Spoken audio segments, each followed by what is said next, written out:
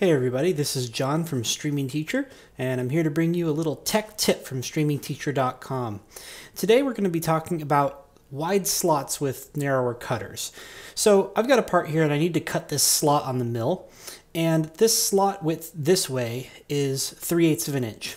But the only slotting tool that I have is a quarter inch thick. If we check this out here, we'll see that our thickness of our cutter is quarter inch. Now, most people would think, well, it's pretty simple. Just go into the depth cuts and set your rough depth at the difference between the two. But that actually doesn't work too well. The trick here is to use the finish depth in the depth cuts to get that locked in correctly. Let's take a look at these parameters. So in my depth cuts menu, I have depth cuts turned on, and I have my max rough step set at 250, which is the width of the tool. And then I have one finish cut at 125. This will make up my 375 total.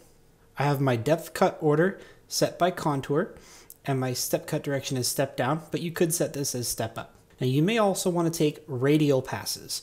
So if that's true, then you want to go into multi-passes and set the spacing for your roughing and finishing. And then make sure that you have your finish passes set for all depths and have your multi-pass order set by pass.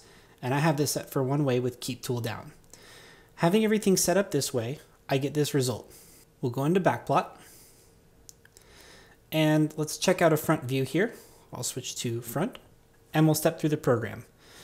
So my first depth cut will line up the tool right with the top of the slot here.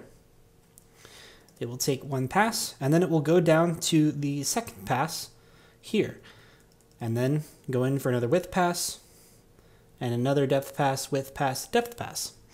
That way I can cut this slot at exactly 375 using a 250 cutter and it's quick and easy. Well, thanks for joining us for our tech tip. Make sure to check out streamingteacher.com for all kinds of great lessons.